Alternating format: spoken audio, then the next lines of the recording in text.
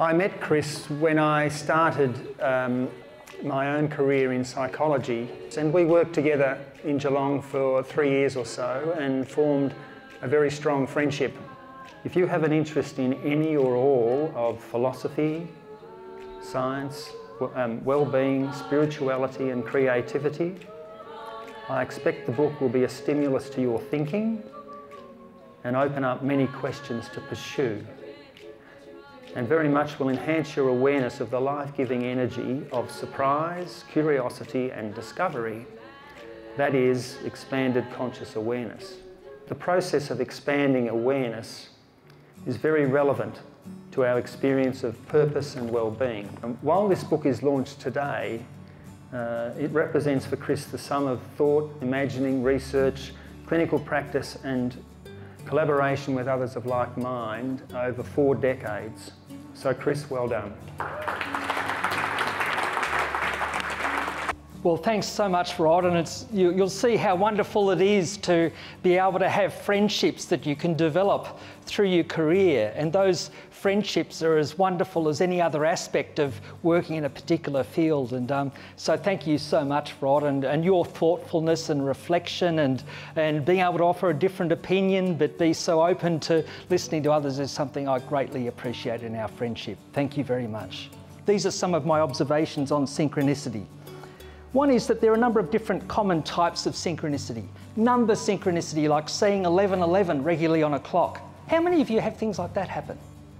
like seeing numbers that come up regularly kind of thing.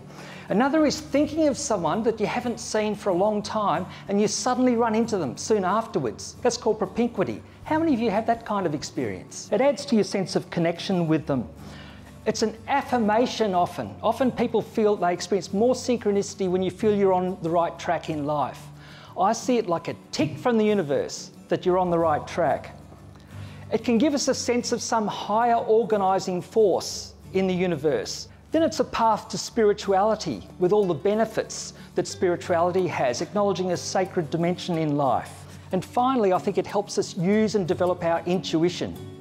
It helps us focus on our intuition in terms of how we interpret these events rather than an over focus on rationality. Positive psychology has shown that in terms of improving well-being, anything that improves our PERMA, P-E-R-M-A, will improve our well-being. Uh, so positive affect or positive emotion is the P. E is engagement with roles or things that we're doing. Uh, R is relationships.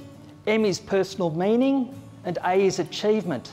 Now we understand a lot in mental health about the interaction of mind and body, but there's not so much on mind, body and soul.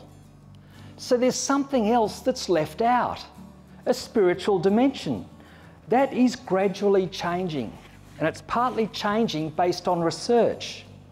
Now it's understood that when people believe in a spiritual dimension in life, they tend to live longer, recover better from illness, less prone to depression, recover better from depression. It even slows cellular aging. So I think synchronicity is a window to spirituality. That's one of the ways it's very helpful. Synchronicity is a path to PERMA, and there's a lot of health evidence these days that spirituality and bolstering PERMA is good for our physical and mental health. What are some practical steps that we can use? And Rod described some of them. The notion of be open to being open. Notice what you notice. What stands out?